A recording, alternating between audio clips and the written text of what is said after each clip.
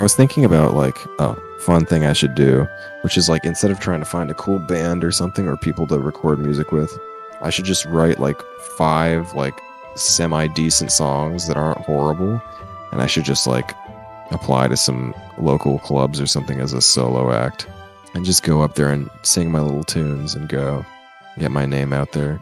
I think that'd be fun. As a person who hates music, I think that's lame. I was hoping you would say that. With all your heart.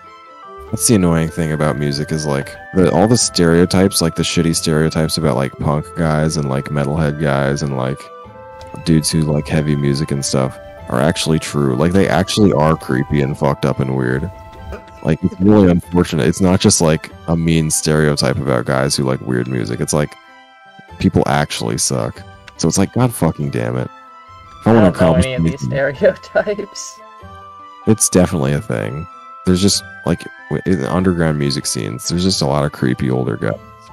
It's a very real thing, and so it's just like every time I try to be social, it's like, God damn it, this cool person who likes this cool band that I like actually fucking sucks. Because of course they do. So I just have to go out on my own. I think I can't depend on the public; they'll always fail me. I don't you strive to be one of those weird old creepy people? Very much do not. you don't. It's just unfortunate because I like the same things as them. But that's it. You don't just have on your vision board that you want to be like a creepy old dude. I mean, I think that's just my destiny regardless. Do you know any furries? You. I'm not a furry, shut the fuck up. Ah, I'm glad that you got mad about that. Why? That was actually mean. nice. I'm actually not sure if I know any furries because I feel like some people who are furries probably don't want to admit that they are. You know what I'm saying? Yeah, I feel like at least one of your sisters is a closeted furry. It's entirely possible, not gonna lie. They definitely have that personality type. yeah. I mean, one of them is literally like one of those like cringy communists, but it's like next level. Like they'll do like whiteboard drawings of like Mao Zedong at school. Uh, even that's not even a good communist. That's like a horrible dictator. That's that's what I'm saying. Like I'm always trying to be like, come on, kid. There's absolutely no way that you're just like casually talking about Mao Zedong like he's not genuinely a horrible dictator. At least pick one that's not a, like genocidal, right? Like you can like Karl Marx, but like Karl Marx wasn't really a, a dictator. He was just a writer. He was literally just like an author. He didn't have the opportunity to become a genocidal maniac. Right, you know, but don't like glorify Stalin. That's too far. Don't celebrate Stalin's birthday. I'm pretty sure they celebrated Stalin's birthday. And that may be like I'm not sure if that happened, but I'm pretty sure it did, and that is extremely cringe. Like I I brought it up to them mildly once. I was just like, you know, it's really weird to glorify politicians, especially dictators, and they were just like, yeah, I guess you're right. You know, since they're not technically part of the proletariat anymore, they're not as virtuous. And I was like, no, you're you're missing the point. I love that. it was really a, a quite a funny moment. God, next time I see them, I'm just gonna ask them straight up to their face if they're a furry. I don't know. No Might not be hesitation. what? I don't think so, but it's entirely possible. You never know. You have to interrogate people like that. It's kind of like how in the 50s they had to like find out who the communists were. You got to find out who the furries in your circle are so you can ostracize them. What if I asked your dad? That would be really funny because I think he knows what furries are. Like I'm not sure if he gets it completely, but I think he's familiar with the concept. That's the thing though, is he thrives on cringe, so like he would find it funny. He would find the whole situation hilarious. What is the likelihood that your dad implanted those cringy communist ideas into your sisters just because he thought it'd be funny? Actually massive, not even kidding. No, and is, he's also kind of a cringy communist. Oh no. Not in the way, like he's not a communist, but like he does hate the United States government and is like very prone to conspiracy theories. So like he very much encourages my siblings with that kind of stuff. And he did the same thing to me when I was a kid. Like I was never like a communist kid, but I was very much into like alien conspiracy theories and like like 9/11 conspiracy theories and he spurred that on like massively. He he was like Yeah. Yeah, no, absolutely. like he he's definitely a freakazoid. And that like I'm less like weird than him when it comes to that type of stuff. But it makes sense because he is older and old people I guess tend to be prone to that kind of stuff. I'm gonna goad him into a conversation about No problem. next time I see him. He will absolutely discuss it. No, like he will not hesitate to be like, yeah, the US government did it. The CIA did it. And you know the crazy thing is that since he's a veteran who worked in like high level military intelligence, like it makes it more credible. Like he kind of does know what he's talking about, but he's also a nutcase at the same time. Lactose intolerance is a fake allergy. I- mean, some people die if they have lactose. Those people don't exist. They're not real. That's because they all died. Exactly. If you're dead, you're not real. Painful Fuck dead people. the lactose intolerant. Yeah. Oh my god, I forgot about that. I just remembered that reference as you said it. Nice. That's classic. That is a actually good song though. Yeah, it's pretty fun. I can't lie. If I remember correctly, the music video was cool too, right? I don't think there was a music video, but it was just like a JPEG of like a generic military dictator person. Oh, maybe I was making up the music video in my head. You dreamt a music video for painful death to the lactose intolerant. Are you gaslighting me right now? No. How do I know? How do I know that for sure? I'm actually not, but I just real like I can't say I'm not. That's the ultimate gaslight to tell someone that they're gaslighting you and be lying. That's the like next level gaslight. That's powerful. What the fuck did you do with all my cats? I didn't even touch your cats. What are you talking about? Maybe they got eaten by a zombie. Let's Maybe see, they have- left because they don't like you anymore. Are you gaslighting yourself about your fucking missing cats right now? They just got pushed around.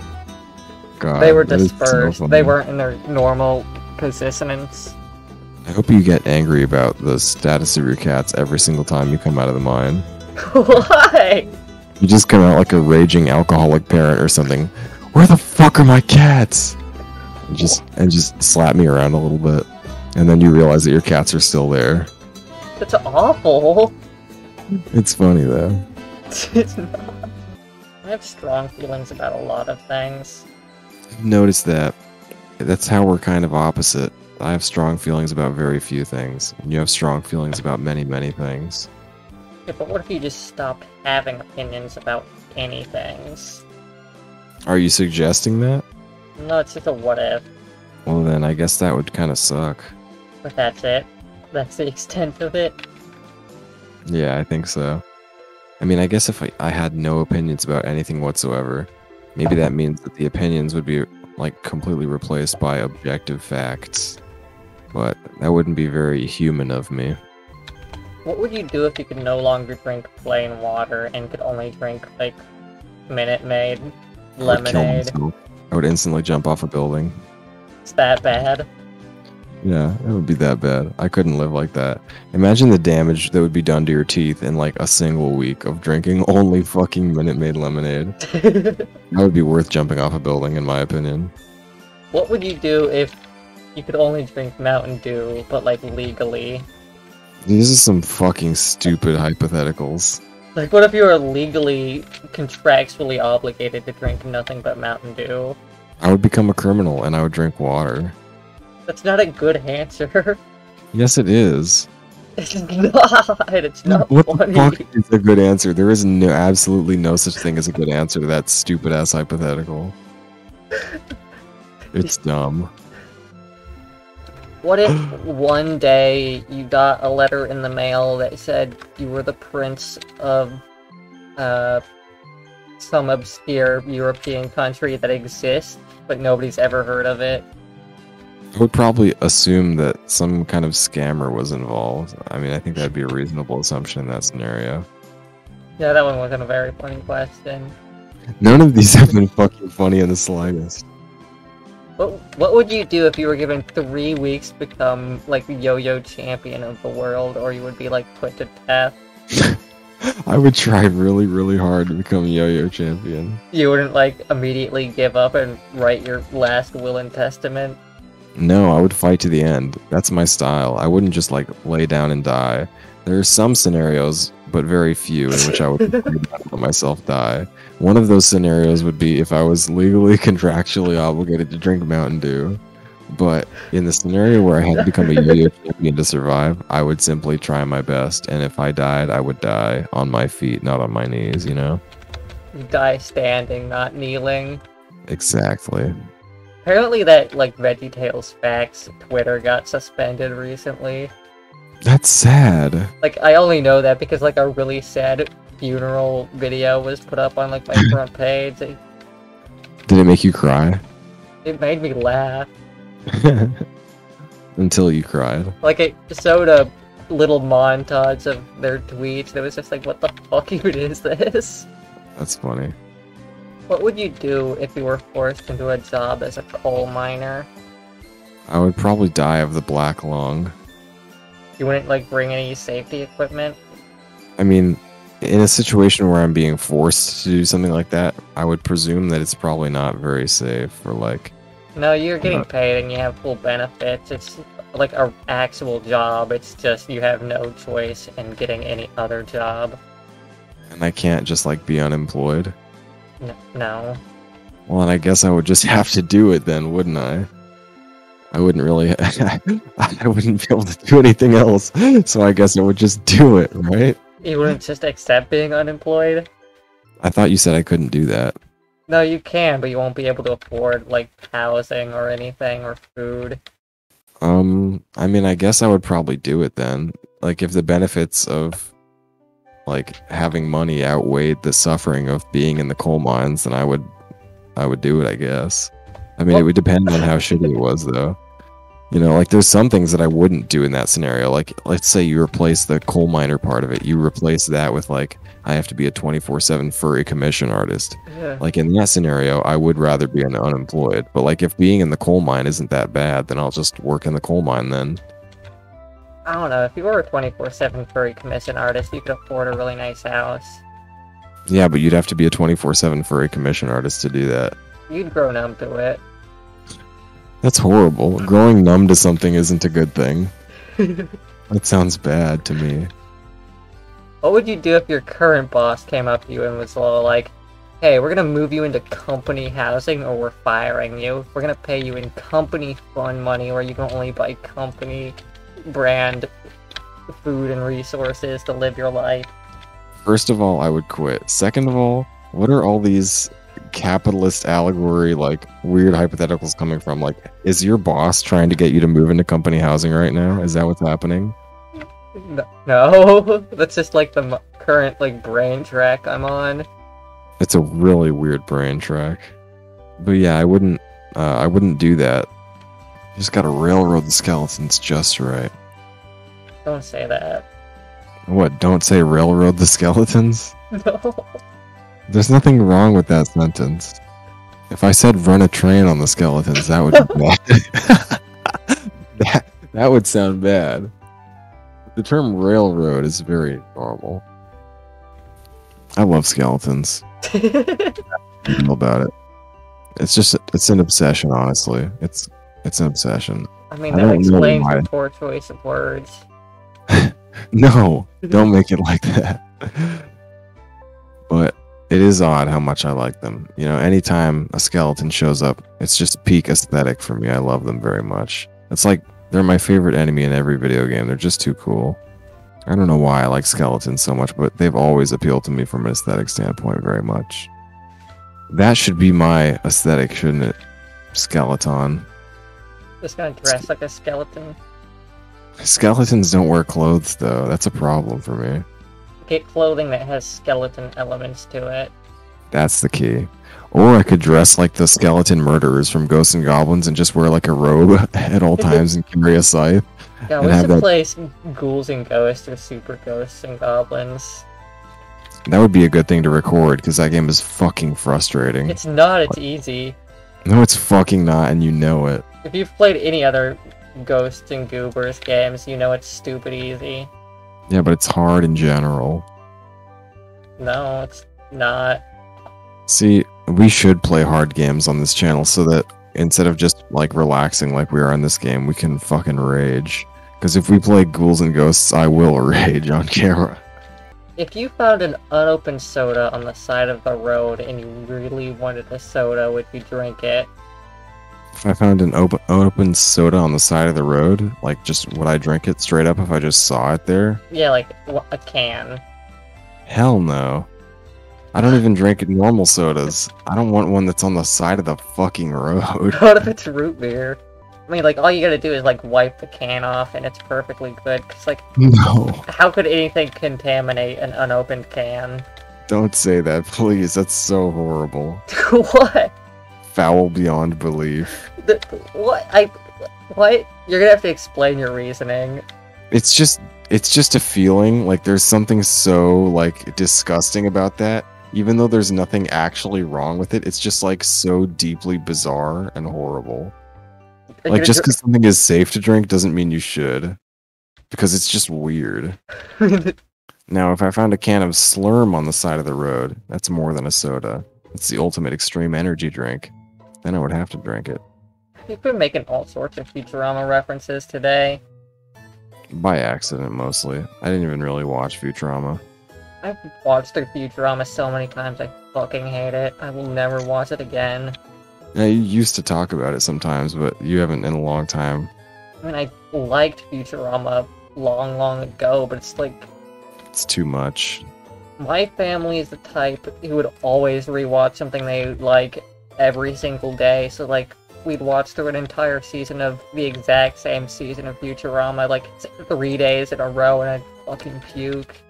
I hate that so much. I could never do something like that. Like, if I like something, I typically leave it alone to like savor it. Like, if I really like something, I won't like enjoy it because I want to like I don't want to wear it out. You know, like if I really, really, really like a song, I'll always skip it when it comes up so that I can listen to it during special moments. You know. Like when I enjoy something, it's usually years between I, well, before I ever revisit it. Yeah. Like recently, we watched through Terrain of Magical Expertise, and I think the last time I watched through it was when the finale came out. When was that even? How did it be forever ago? I think it was like 2017, 2018. So that's a pretty good gap. That's like enough time for you to forget the minute details. No, I love Tome, it's good. Very clearly a passion project, and it shows. It is. It's the type of passion project that makes me wish that the guy who made it didn't have so much passion, though. you know what I'm saying? It's like, stop being passionate. I'm just gonna cut in like every clip of the live action Rainbow Dude right here. That's a good idea. I would like that.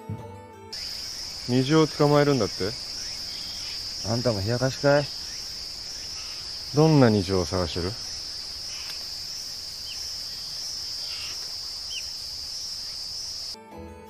I'm so glad that I'm finally the bug master. Master of bugs. he did say that though. I'm still underground. It seems so. It's gonna become like Made in Abyss where you can't come back up anymore without bleeding out of your face. That'd be hilarious. I would love that. Oh, that'd be something to talk about. Give us your in-depth thoughts on Made in Abyss. that is a good conversation topic for sure because honestly it's really cool because it like the world building and it feels really natural in, in some parts like just in terms of the way that it is depicted visually like i would say the visuals are definitely the strongest part of the entire series because like even when the dialogue doesn't describe stuff the visuals just give you an instant sense of what something is or how it should feel and it's it's very evocative but some of that is lost in translation in the anime. I feel like probably You've they have literally to- never read the manga. no, I haven't, but I'm guessing in the way that because you can't literally just like look at a page for 10 seconds in an anime. Like it has to have pacing, so some of that is probably lost.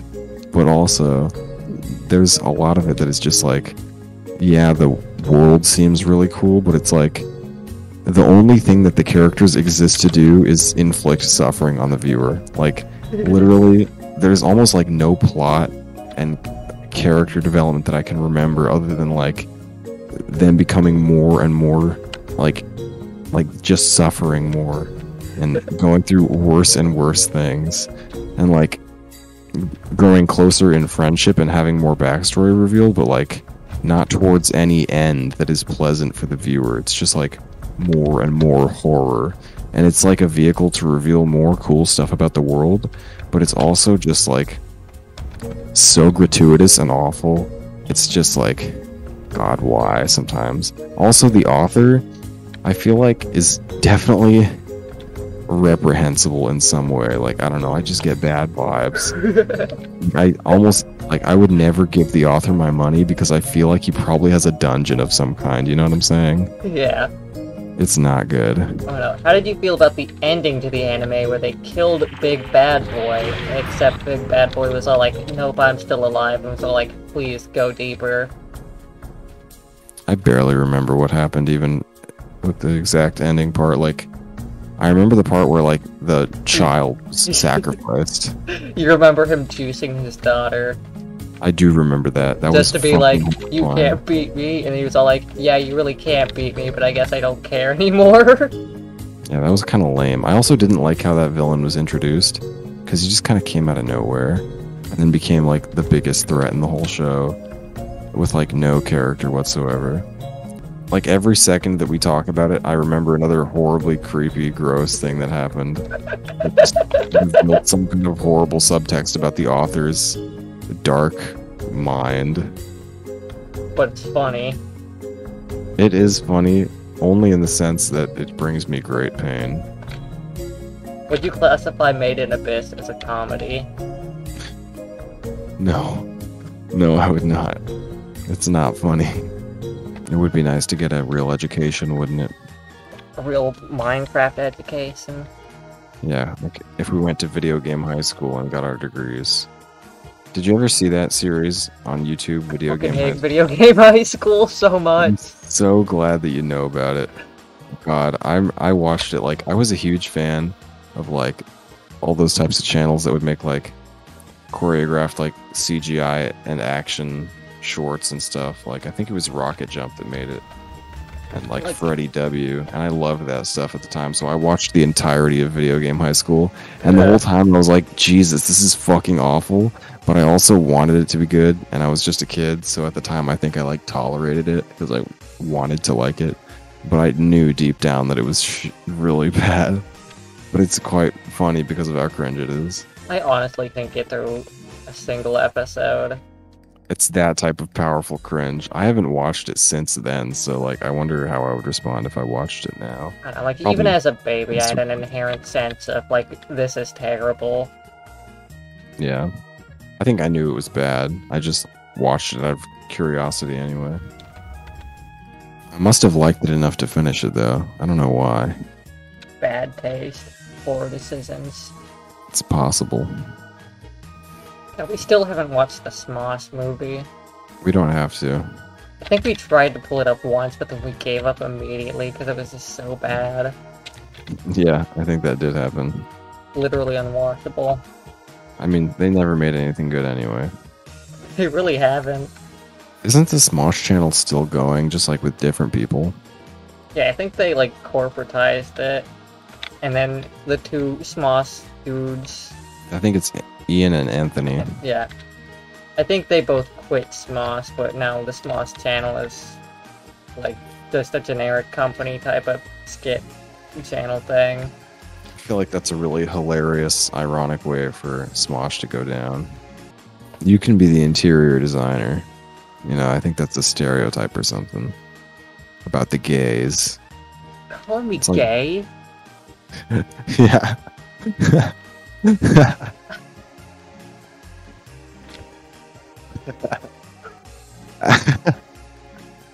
Don't hit me, in Minecraft character. Don't do that.